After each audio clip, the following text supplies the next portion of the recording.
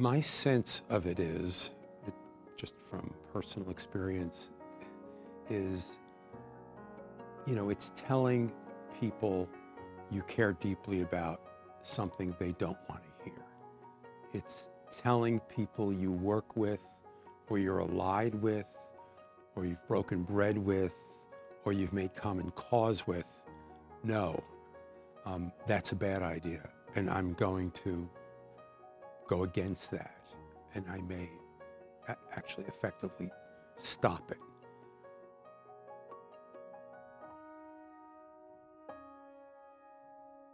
Oh, I think of myself as a Yale lawyer after doing this for 40 plus years. You learn that there are people um, who are really, really smart, really gifted. Now, maybe they don't do exactly what you do, what you're really good at, but the things they're good at is chilling. And, you know, you, you, you need to learn to embrace that. And, you know, if you're going to be productive, to work with people who are really talented.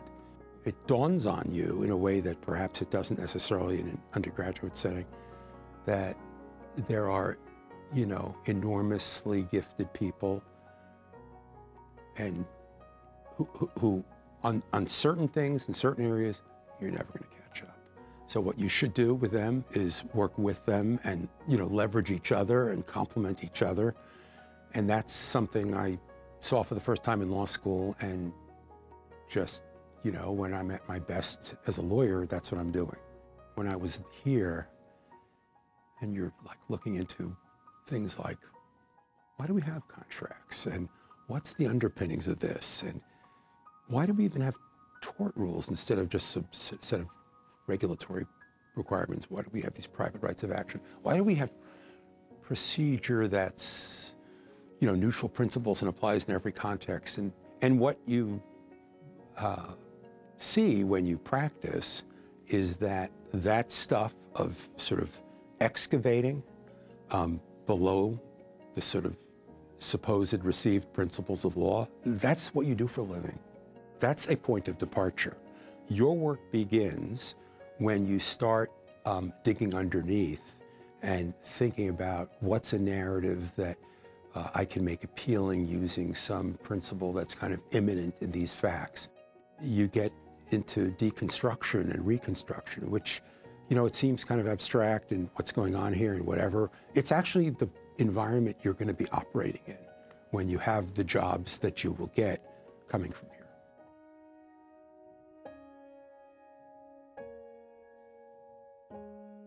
It's hugely helpful to have a few along the way so that when bigger ones come, you've seen this before, you've seen this movie, it doesn't necessarily end in disaster. I had a, a, a, a you know, a uh, a, an incredibly smooth road, which didn't prepare me well for anything not smooth. I, I think the thing that you learn from something like that is you, you know, you, you learn you just have to not sort of catastrophize um, every pothole. You, you, you prove your worth by how you dust yourself up off when you get off the floor. Um, you just have to do that. I mean, I just think you make yourself stronger by how you deal with it. It's really a, a part of who you want to make yourself into, who you want to be. You, you know, you, you don't want everything handed to you. You want to be the person who can climb out of the hole.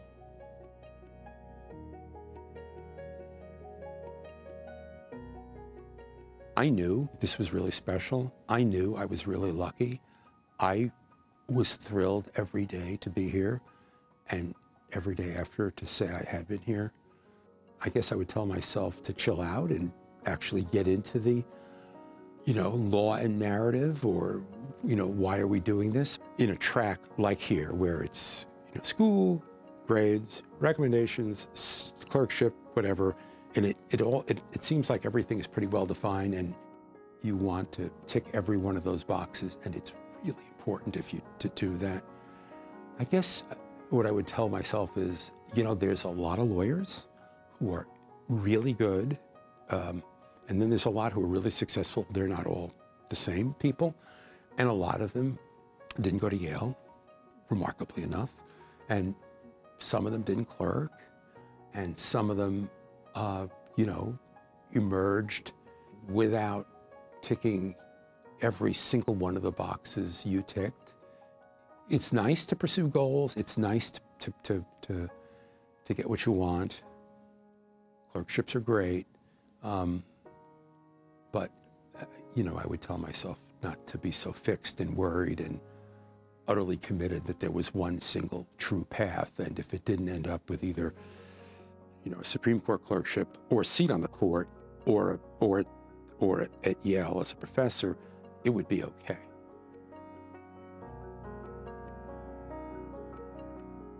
I just told the class, um, I said, you know, I want you to know something that, because I used to be sitting there, um, this thing that you're worried about, like, what am I really learning? What am I really doing? What you're learning is actually what you're going to be doing. What you're learning is about, you know, deconstruction and reconstruction and going deep underneath received understandings of what the legal principle is, that's actually what you do. The other stuff that was written down and is in the Hornbook, that's kind of fake. It's good for the bar exam, and that's the end. So you, you I said you, you and probably some of your teachers will be appalled to hear you're actually receiving an enormously practical education. That's, and don't worry, you're at the right place.